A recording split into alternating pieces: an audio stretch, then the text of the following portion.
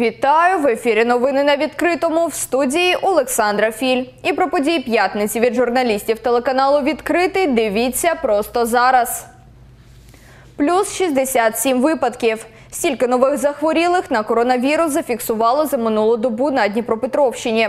Найбільшу кількість випадків COVID-19 лабораторно підтвердили в мешканців Дніпра 42 людини.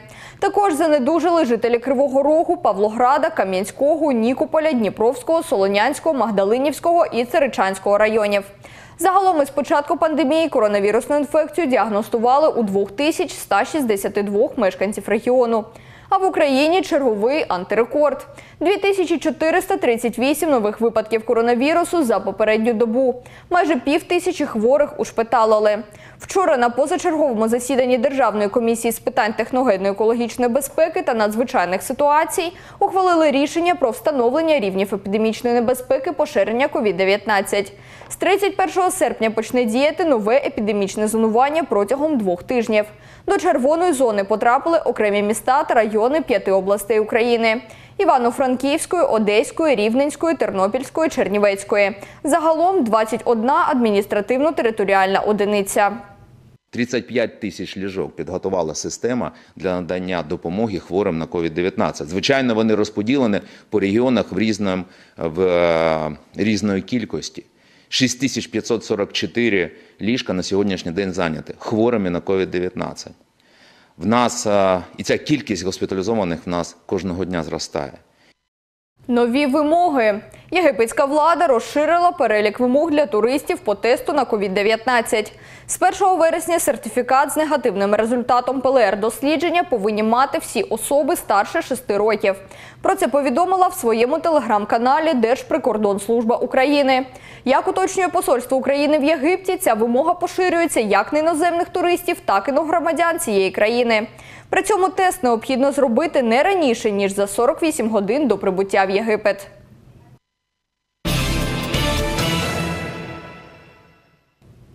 В Кам'янському тривають відновлювальні роботи на мосту через річку Дніпро. На переправі цими вихідними сталося ДТП. Частково обвалився ґрунт, який розмила злива. Хід відновлювальних робіт на мосту перевірив міський голова Андрій Білоусов. Деталі в наступному сюжеті. Ось такий вигляд мала переправа в Кам'янському після ДТП. Фура зачепила дроти і обрушила стовп, який зруйнував частину асфальту. Вода, що збиралася від зливи, пішла не через стоки, а краєм потрощеної дороги. Грунт розмило. Частина мосту обвалилася. Столб наклонился и получилась трещина. В эту трещину, так как это самое низкое место, и с той стороны идет вода, и с этой стороны с моста. Основная масса воды скопилась вот здесь. И через эти трещины начала стекать на откос. У житлово-комунальному департаменті міськради зазначаються, ділянка дороги другорядна і не позначається на русі. Наразі комунальники відновлюють міст. Роботи планують завершити вже найближчим часом. Сейчас здесь движение перекрыто, работает техника. По технологии восстанавливаем обратно откос. Используем глину, используем шлак, используем гранитный бут. В течение нескольких дней все работы будут выполнены, и эта ситуация будет устранена. Вікторія Вахрушина, Ярослав Прокоф'єв, Open News, телеканал відкритий. У Дніпрі продовжують комплексно ремонтувати внутрішньоквартальні дороги. Наразі тривають роботи на Донецькому шосе біля трьох багатоповерхівок. Тут вже частково облаштували пішохідні доріжки, заасфальтували підходи до під'їздів. Нині укладають бордюри та готуються до асфальтування проїжджої частини.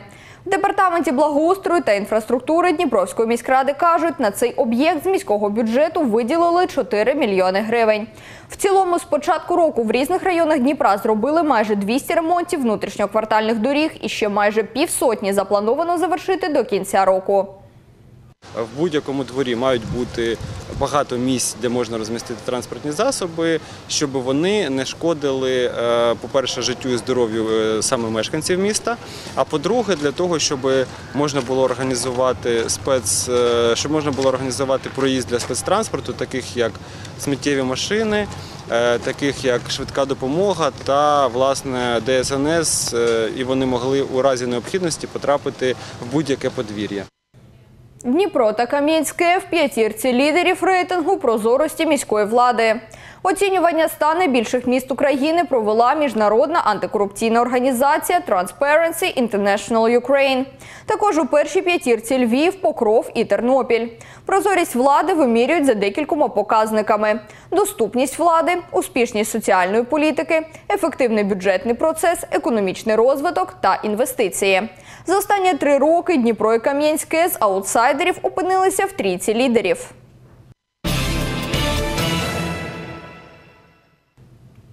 Оборудка на десятки мільйонів гривень. СБУ викрила посадовців Укрзалізниці та екс-керівників Дніпропетровського тепловозоремонтного заводу на розкраданні коштів. Оперативники спецслужби встановили, чиновники організували корупційний механізм постачання та встановлення на тепловози державного підприємства неякісних вживаних запасних частин. До афери вони залучили низку комерційних структур, які постачали продукцію під виглядом нової. Різницю організатори виводили на рахунки фіктивних підприємств та переводили в готівку. Своїми діями вони завдали збитки Укрзалізниці майже на 60 мільйонів гривень. За висновками експертів, експлуатація цих запчастин могла спричинити надзвичайні події та травмування пасажирів і залізничників. Наразі повідомлено про підозру 12 посадовцям Укрзалізниці та трьом колишнім керівникам заводу. Кривому Розі поліцейські затримали 26-річного наркозбувача. Підозрілого чоловіка правоохоронці затримали в лісосмузі одного з районів міста. Під час обшуку в сумці знайшли шприц з речовиною, схожою на опій, та гроші. Вилучені речі направили на експертизу, а містянина затримали. Поліція відкрила кримінальне провадження. Санкція статті передбачає покарання в вигляді позбавлення волі строком до 10 років з конфіскацією майна. Навчання рідною мовою. У Дніпрі міська організація партії Опозиційна платформа за життя ініціювала збір підписів за право учнів та студентів навчатися рідною мовою. Кажуть, кожен повинен мати вибір, якою мовою здобувати освіту. Деталі в наступному сюжеті. У Дніпрі завершився збір підписів за право школярів та студентів навчатися на рідній для них мові.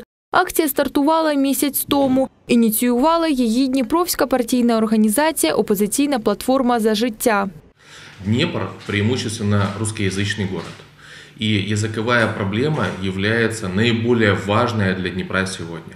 Замалчивание этой проблемы э, будет э, влиять на постоянное увеличение недовольства э, общественности.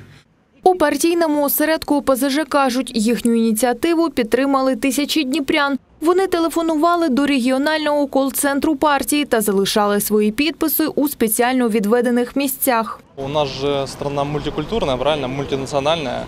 И, в принципе, у нас проживает очень много э, людей разных национальностей.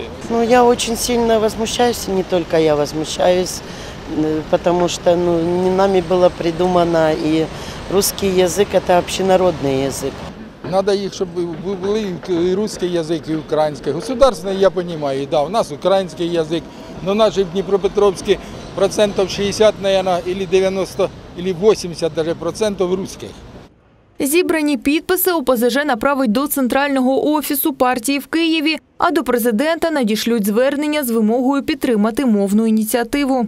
Сегодня президент э, с его боно- монобольшинством имеет все рычаги, все возможности решить вопрос и предоставить украинцам право самостоятельно решать, на каком языке разговаривать, на каком языке получать образование. У Дніпровському осередку ОПЗЖ наголошують, продовжать відстоювати права людей і наполягатимуть на внесенні правок до чинного мовного закону. Лідія Дмитрашко, Євген Коденцов, Open News, телеканал «Відкритий».